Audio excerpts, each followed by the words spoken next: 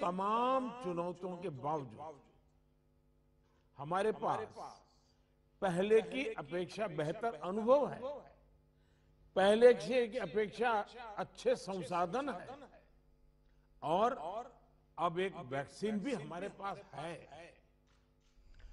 जन भागीदारी के साथ साथ हमारे परिश्रमी डॉक्टर्स और health workers health care staff ने स्थिति को संभालने में बहुत मदद की और आज भी कर रहे हैं।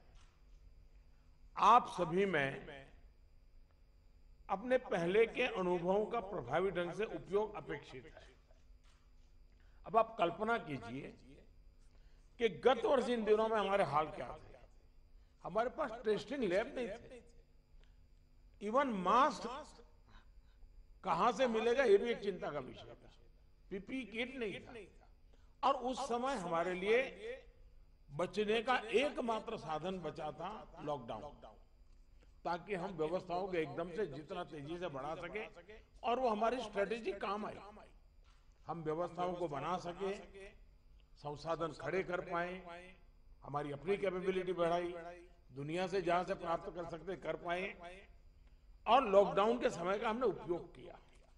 लेकिन आज जो स्थिति है, आज जब हमारे पास सब संसाधन है तो हमारा बल और ये हमारे गवर्नेंस की कसौटी है। हमारा बल माइक्रो कंटेनमेंट जोन पर होना चाहिए। छोटे छोटे कंटेनमेंट जोन पे सबसे ज़्यादा होना चाहिए। जहाँ पर रात्रि कर्फ्यू का प्रयोग हो रहा है वहाँ मेरा आग्रह है कि उसके लिए शब्द प्रयोग हमेशा करें। Corona curfew. ताकि कोरोना के प्रति एक सजगता बनी रहे। कुछ लोग ये इंटेलेक्चुअल डिबेट करते हैं कि क्या कोरोना रात को ही आता है? हकीकत में दुनिया ने भी ये रात्रि कर्फ्यू के प्रयोग को स्वीकार किया है। क्योंकि हर व्यक्ति को कर्फ्यू समय होता है तो याद आता है कि हाँ मैं कोरोना काल में जी रहा हूँ। और बाकी जीवन व्यवस्थाओं को कम से कम प्रभाव होता है। हाँ अच्छा होगा कि हम कोरोना कर्फ्यू रात को नौ बजे शुरू करें या रात को दस बजे शुरू करें और सुबह पाँच छः बजे तक चलाएँ ताकि बाकी व्यवस्थाओं को प्रभाव ज़्यादा न हो और इसलिए उसको कोरोना कर्फ्यू के नाम से ही प्रचलित करें और कोरोना कर्फ्यू एक प्रकार से लोगों को एजुकेट करने के लिए काम आ रहा है अवेयरनेस के लिए काम आ रहा है। तो हमने इसके तरफ़ ध्यान देने के लेकिन मैंने पहले कहा, अब हमारे पास व्यवस्था इतनी हो चुकी है माइक्रो कंटेनमेंट जोन उसी पर बल दीजिए, आपको अच्छे परिणाम मिलेंगे। हाँ उसमें जरा सरकार को थोड़ी मेहनत ज़्यादा पड़ती है गवर्नेंस को टाइट रखना पड़ता है, हर चीज़ को माइन्यूटली ऑब्ज़र्व करना पड़ता है, लेकिन ये मेहनत रंग लाएगी, ये मुझ पर विश्वास कीजिए। दूसरी बात है हमने पिछली बार कोविड का आंकड़ा 10 लाख एक्टिव केसेस से सवा लाख तक नीचे लाकर दिखा दिया था। ये जिस रणनीति पर चलते हुए संभव हुआ, वो आज भी उतने ही सटीक है। और मज़ा देखिए, उस समय सफलता हम ही लोगों ने पाई थी। तब संसाधन भी कम थे। आज तो संसाधन ज़्यादा है और अनुभव भी ज़्यादा है और इसलिए हम इस पीक को बहुत तेज़ी से नीचे ला सकते हैं, पीक को ऊपर जाते रोक भी सकते हैं और अनुभव कहता है कि test, track, treat. COVID appropriate behaviour और कोविड मैनेजमेंट, इन्हीं चीज़ों पर हमें बल देना है।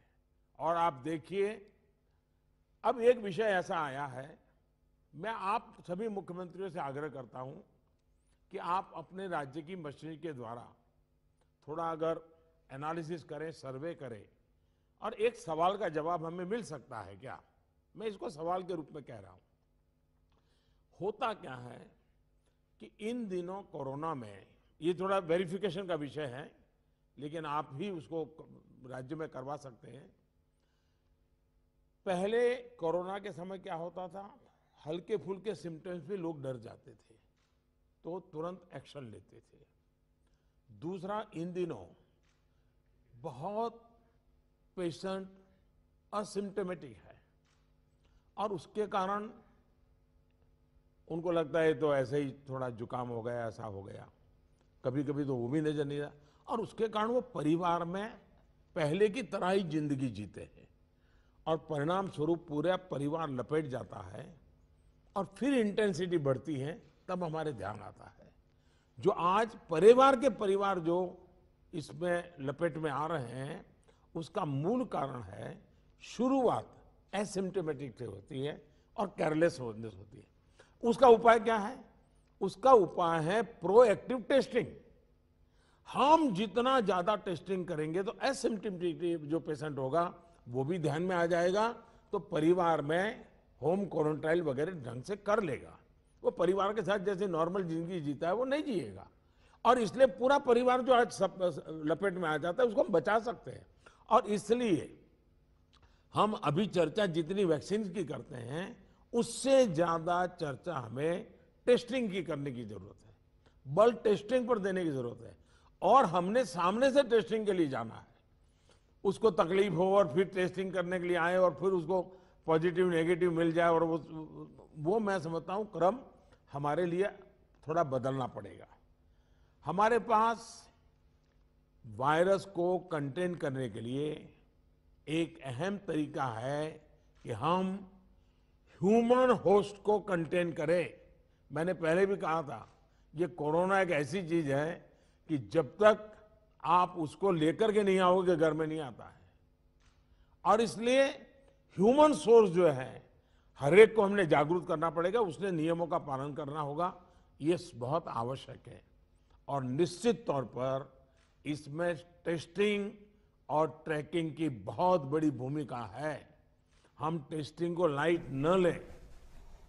टेस्टिंग को हमें हर राज्य में इतना बढ़ाना होगा कि पॉजिटिव रेट कैसे भी करके पाँच परसेंट के नीचे ला करके रख जाए।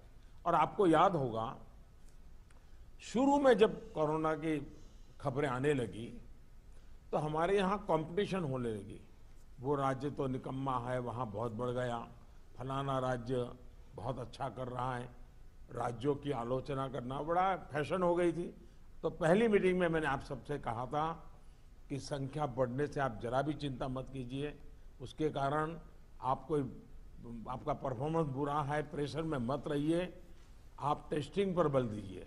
और वो बात मैं आज भी कह रहा हूँ, संख्या ज़्यादा है, इसलिए आप गलत कर रहे हैं, ये सोचने की ज़रूरत नहीं है।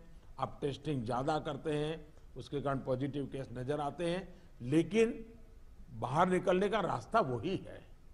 और जो आलोचना करने वाले हैं, थोड़े दिन आलोचना सुननी पड़ेगी।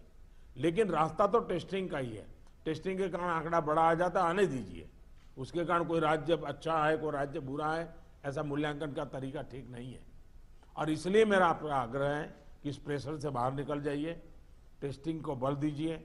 भले पॉजिटिव केस ज़्यादा आते हैं, आने दीजिए। लेकिन उसी का तो हम उपाय कर पाएँगे। और हमारी टारगेट 70 प्रतिशत सेवेंटी परसेंट आरटीपीसीआर टेस्ट करने का है।